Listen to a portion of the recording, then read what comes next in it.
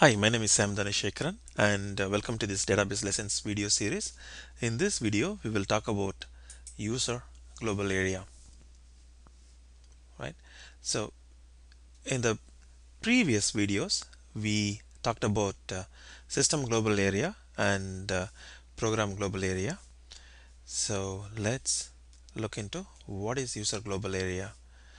You might uh, you may come across this term so I thought I could explain that as well. So uh, so we have a PGA those who would like to know what is a PGA just uh, go and look into the previous video in this playlist. And uh, this is this is actually part of SGA system global area. Okay. So what Oracle does is in PGA okay it maintains a session specific information meaning that when clients connect to the database server right a PGA gets established right? Basically like a server session gets opened and then you know uh, a PGA gets established there. Among that within that PGA there are two sections which are session specific area. They hold uh, the session specific area. One is the logon information and then the session state and everything. There is also one more area which is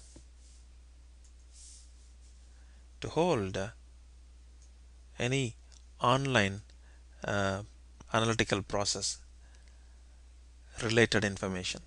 For example, if someone accesses a cube, I'll explain cube later uh, or look for uh, cube in Google, right? Uh, then those information will be stored here. Okay, so that section is called UGA. UGA is generally part of PGA in a shared, I'm sorry, in a dedicated server environment. Okay. In a dedicated server environment. I don't know why it's doing like that. Um, okay. So that's what UGA is. Like now Oracle calls that as user global area so it contains these two information. And the important thing is in a dedicated server environment UGA resides in PGA okay.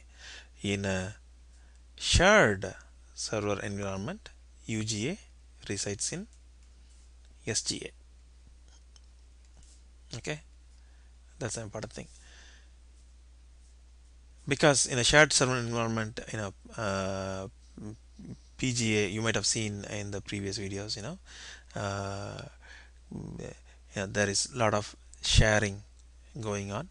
So it has to maintain the session specific information somewhere in a in a consistent location.